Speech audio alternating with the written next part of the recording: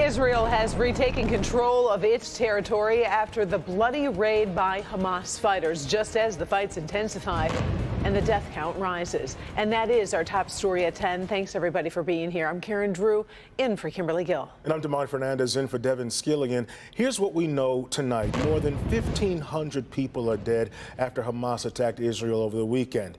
At least 900 people are dead in Israel. And according to the military, 687 people in Gaza and the West Bank. President Joe Biden says 11 Americans have also been killed, and it's likely that some may be among the kidnapped. The White House says President Biden will deliver remarks on the conflict in Israel tomorrow around 1 p.m. Meanwhile, here in Metro Detroit, a crowd of thousands turned out tonight in Southfield, including Governor Whitmer and other elected leaders. They're all pledging support to the Jewish people and support for Israel. Mara McDonald live in Southfield for us tonight. Mara, an emergency campaign for Israel has already raised more than a million dollars. That's right, Karen. And, you know, the president of the Jewish Federation told all those who came to Shaarey Zedek tonight that what this is, is not a call to arms, but it is a call to action. Let me show you.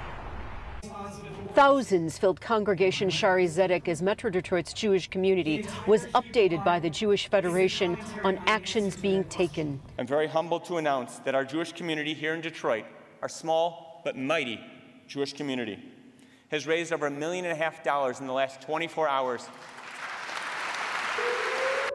the attack on Israel is very personal for many here. Marjorie Klausner's son is finishing his volunteer service in the Israeli Defense Forces as we speak. The very, very first things he wanted to tell us he was okay, he was safe, he loved us. This was also an opportunity for the Jewish community to see who among our elected leaders stands with Israel. After this tweet over the weekend out of Governor Whitmer, which was roundly castigated for a failure to acknowledge the slaughter of civilians in their homes, a music festival, or just on the street, the governor stood at Shaarey Zedek tonight and made her intentions clear. We stand with Israel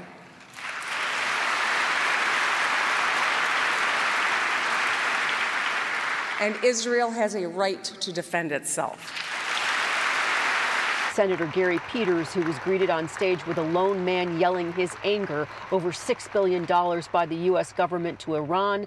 $6 billion to Iran! Pay for Pledged his support to Israel. We will stand in solidarity and do whatever we can to support the Israeli people and their right to defend themselves against terror, however, however long it takes. We will be there.